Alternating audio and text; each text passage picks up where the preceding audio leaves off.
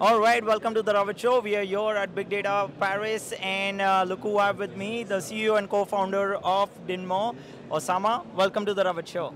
Thanks, Ravit, for the invitation. Uh, I've seen you all at Big Data London. I met your team there, and absolutely enjoyed learning more about Dinmo. And today, here at Big Data Paris, I'm kind of curious to learn more about uh, what's happening at Dinmo. What are you all uh, building and how you all are helping the enterprise world out there. Yeah. Oussama, just for audience, would you like to quickly introduce yourself, tell us more about, uh, a little about Dinmo as well? Yeah, of course.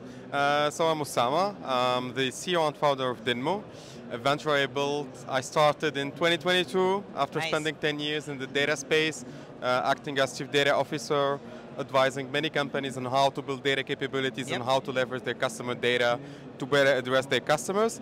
Uh, and yeah, I saw a gap between uh, what was happening, like in the ability to build data foundation, like centralize all the data, etc. People are becoming more and more uh, capable of doing this, but marketing teams are not able to leverage all this data to personalize their communication with their customers. So I thought I had this idea, like building this bridge between the customer data and the people that will use this data. And yeah, it, we started the, with a simple reverse ETL, and Yeah. then we developed the platform to reach a composable CDP, and maybe we'll, we'll have the chance to dig deep in the concept of composable CDP. Yes, I'm curious about that as well, and uh, thanks for sharing that. I'm kind of, you know, today I've, uh, I'm thinking about breaking it down for our audience in depth. Uh, so, uh, can you tell us about what is customer data platform and why do you need one? Good question for a starter. And honestly, like the space is so noisy. So Right. you know, like I have a lot of players, so everyone is speaking about about it uh, uh, in in very complex way. Exactly. And most decision decision makers uh, they don't get all the parts that you need to have in a CDP. So to make it simple, we need companies need a CDP, especially in the B2C space, because they need to address their customers in a personalized way. You know, Right. like you have this, you have the same customers as Netflix. So if your customers are watching Netflix series the uh, at night, they would expect the same level of personalization from you, a brand or retailer. So you need to have like the same level of personalization. True. But the problem is that leveraging customer data, the knowledge about the customer is not that easy that it may seem. Very so right? yeah, so it's not like the CRM manager hates you and that's why he he sends you like a lot of mails that are not personalized. Is that the fact that they don't have access to this data. Right. So the concept, the first concept of CDP is giving people who will talk to, to, to the customer, CRM manager, acquisition managers, access to customer 360, which means all the information about your customers, what they have done in the past, their transaction, what did they do in your product, etc. And they can leverage this, all of this data to build customer segments, to build some attributes, and then use them Very important. to, to personalize any communication. When you come to the website, see the relevant products for based on your past purchase behavior, for example, or send you only mails when you need to see them because you need like to get the new product, etc. So this is the concept, like making the data accessible in the tools that people use to personalize the communication with their customers. Very interesting, and uh, thanks for sharing that. I'm also uh, wanting to know a little about the composable approach, right? Uh, so, how is this approach different? But at the same time, what is it? Yeah. Okay. So historically, um, the main function of CDP was the data centralization, the ability to get all the data from different places, put them together, so build like a data warehouse. But during the five last years, we have seen companies like Snowflake, Databricks, like simplify, and also the, uh, Fivetran, uh, Wivery, those companies simplified this task of getting the data from different sources, putting it together, uh, modeling it the, the right way so it can be consumable. So a part of the function of the CDP is being internalized within companies. so yeah. companies now like have those data, but they lack some features to build their own CDP. And those features the ability to segment the data and enrich it with predictive AI, for example, knowing when your customer will come back, when do you need like to talk to them, which products do you need to, you know, like recommend to them so they can, you can increase the chance they, they buy. Right. And this is like the main uh, difference is that we don't store data. We think Right. that's like the company's res- responsibility. So they build it internally with Yeah. analytics engineers.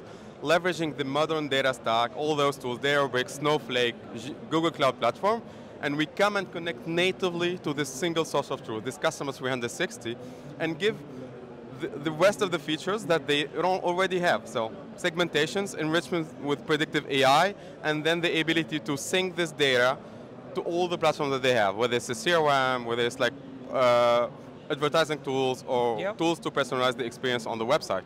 Yeah, what I'm hearing is obviously the 10 years of experience that you've had in enterprise, you're, you've kind of found so many gaps, Sama. Yeah. And uh, I can see the passion in terms of you know filling that gap for the enterprise leaders out there, which is great. Uh, also, curious question around you know the foundations. How do you lay a foundation um, for a composable CDP? Is something what I'm interested to learn a little. more. Yeah, I think when people start thinking about yeah personalization, etc., you know, like they, they think of the, the tip of the iceberg, you know. Uh, Right. It's it's but they are like at the level zero, so we can jump from zero to one directly. So laying the foundations means that you are able to get all the data that you have Yes. within a central place, within a Snowflake, within a Databricks.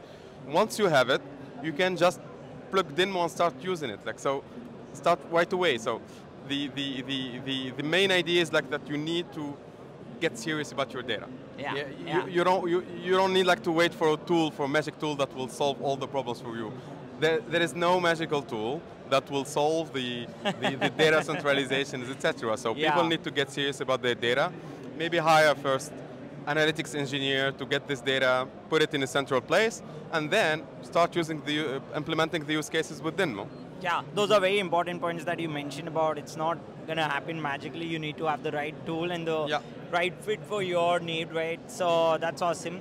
I'm also curious to uh, know a little about you know the data transformation bit. So how Yeah. does that happen from data warehouse to composable, uh, you know, Yeah. uh, CDP? Yeah.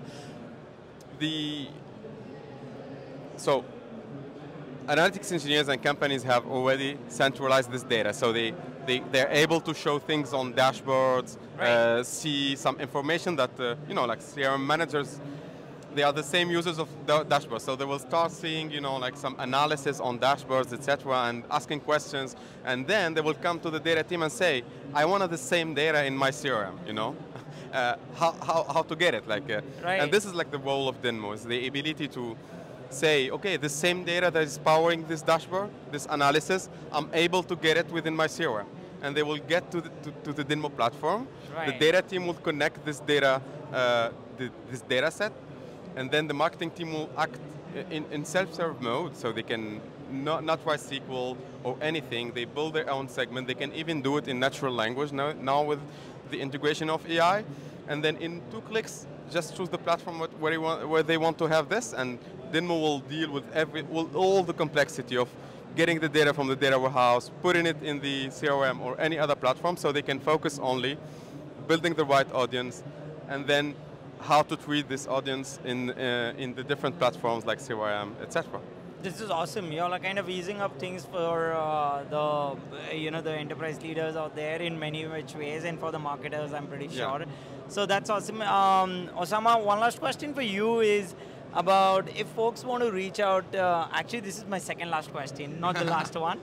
Um, so I'm going to ask you about first thing is what's next that we, uh, we can expect at Dinmo? What's Yeah. next big thing that's coming up, uh, Yeah. and uh, how are you you're looking at that? Yeah, we think the, the industry of CDP is going to move because not, especially uh, thanks to AI, because people would be expecting to have um, everything that they need for a certain task and Right.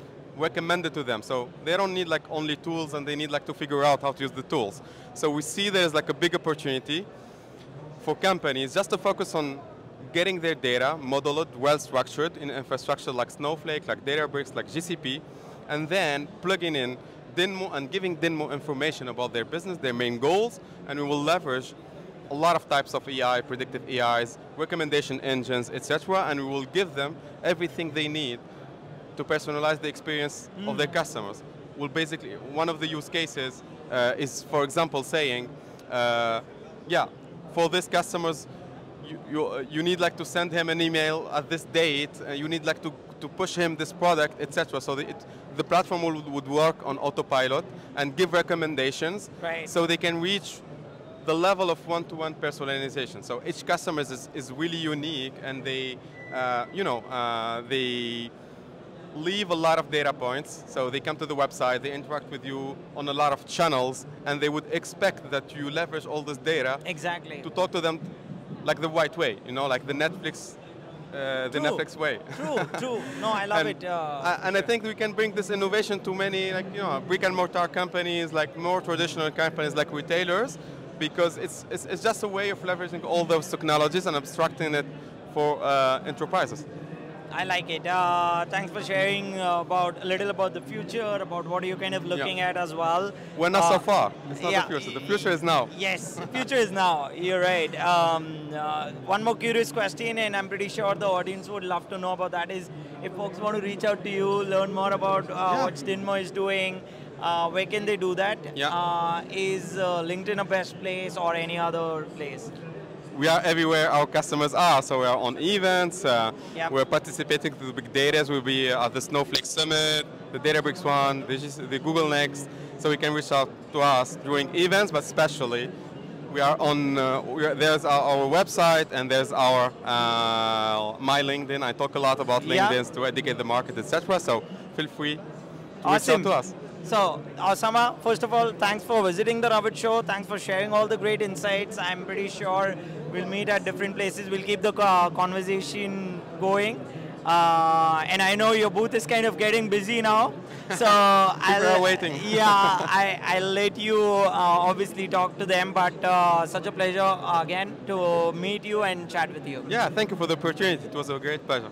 Thank, you. Thank you everyone for joining us today.